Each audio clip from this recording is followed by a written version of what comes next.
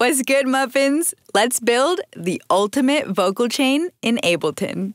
We'll take a quick listen to the dry vocal before we add processing. I care about you, but that's the way it go. I get like Rambo. Let's start with a subtractive EQ. I'll pull in an EQ8. I'm going to turn the high pass filter on and let's roll it off at 130. Now let's create five bell curves.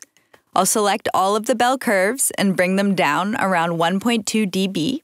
I can also change the Q of all of them to around 5 so they are narrow cuts. And now I'll go through each one and set the frequency. Let's start with the low mids to get rid of some of the muddiness. We'll do one at 235, one at 471, one at 784, and lastly, one at 1.5K.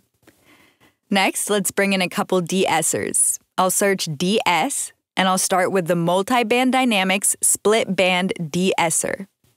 This preset sounds great as is. We're going to also bring in the compressors de-esser. Now I'm going to group everything we have together so we can start turning on and off the chain as we build it. Let's listen with it off. I care about you, but that's the way go. And on. I care about you, but that's the way go. It's sounding a little bit too squashed, so I'm gonna mix this second de-esser using the dry wet knob. I care about you, but that's the way go. I get like Rambo. Say I'm an animal. Bitch, I'm an animal. Next, let's bring in some compression. I'm gonna switch it to this view.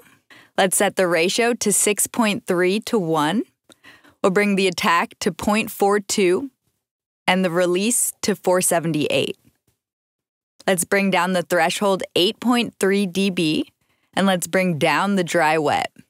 I care about you, but that's the way it go. I get like Rambo. Say I'm an animal. Sounds good, but I want to bring a little more back to the output, so let's bring it up 2.3 dB. I care about you, but that's the way it go. Nice. Now I want to add another EQ8. We'll add another high pass filter at 83. We'll take this bell and set it at 181. Bring it down 1.2 dB. Bring the Q to 6. On this next bell, let's bring it to 1.3K and just bring it up a quarter dB.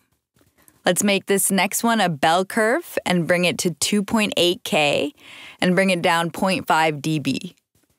Let's create a high shelf, set it at 3.7K and bring it up to 1.2 dB. Lastly, let's take this bell and bring it to 7.4K and boost it 0.5 dB. I care about you, but that's the way it go. Sounds good. Let's bring in some multi-band dynamics now. I want to switch it to the A view so I can see all the above values. And I'll start by setting the high crossover around 1K. I'll set the low crossover at 567. Now let's head over to the high threshold and set it to negative 25 dB. Ratio at 1.88, and I'll boost the output 0.2 dB. We'll bring the mid threshold to negative 30 dB, same ratio at 1.88, and I'll lower the output by 1.3. On the lows, we can set the threshold to negative 29 dB, ratio at 1.94, and I'll boost the output by 1.4 dB. Let's boost the main output by 2.5 dB, and we can mix this in. I care about you, but that's the way it go. I get like. Sounds great. Let's add one final EQ8. On this next one, let's take the first bell and set it at 3.4K and bring it down a dB. I'll change the Q to 2.4. Next, let's take the bell and bring it to 7.2K, add 0.24 dB. And lastly, let's take this bell and bring it to 18K.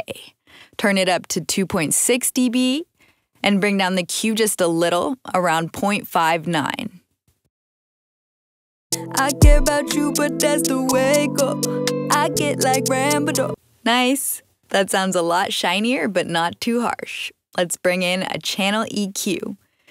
And we can bring down the lows 1 dB, the mids 1 dB, but let's also set the mids to 297 hertz, and let's bring up the highs 1 dB.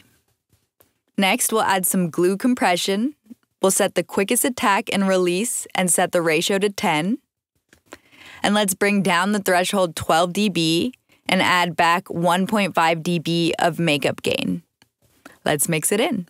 I care about you, but that's the way it go. I get like Rambo. Say I'm an animal. Bitch, I'm an animal. I get my. Now let's thicken this up with some parallel compression. So I'll bring in a compressor and I'm just going to group this effect now and I'll name this P comp. And on the compressor, I'll set the ratio to 3.2, the attack at 11.4, and the release at 19. I want to bring down the threshold 48 dB, set the output to negative 5 dB, and turn on the makeup gain. I care about you, but that's the way it go. Sounds way overcompressed, but if we mix this in with our main signal, it will really bring this vocal up front. I care about you, but that's the way it go. I get like Rambo. Say I'm an animal. Bitch, I'm a. Here it is off I care about you, but and on. I care about you, but that's the way it go. This really brings it up in your face. I'll create another chain below and name this verb one. I'm gonna search for slap. This should work perfectly. Let's just mix this in. I care about you, but that's the way it go. I get like Rambo.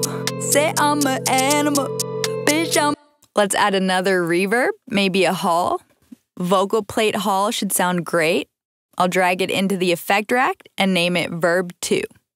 Let's mix this in. I care about you, but that's the way it go. I get like Rambo.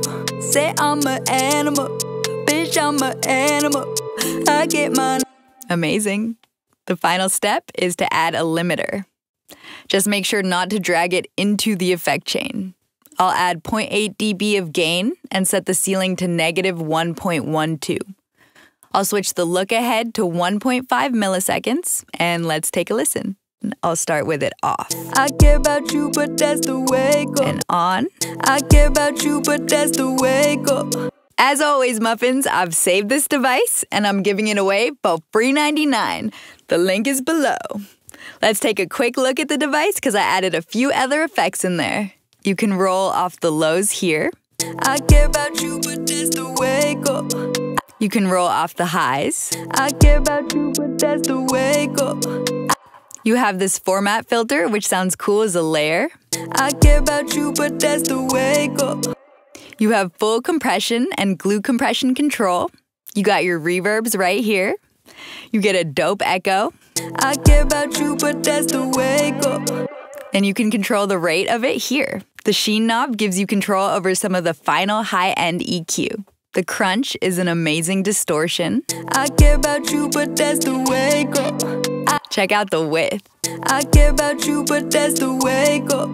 I The chop effect creates a really cool stutter effect. Sounds great on drawn out vocals.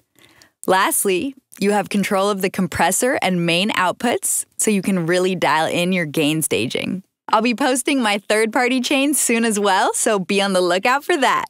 As always, so fun hanging with you, Muffins, and I'll see you guys soon.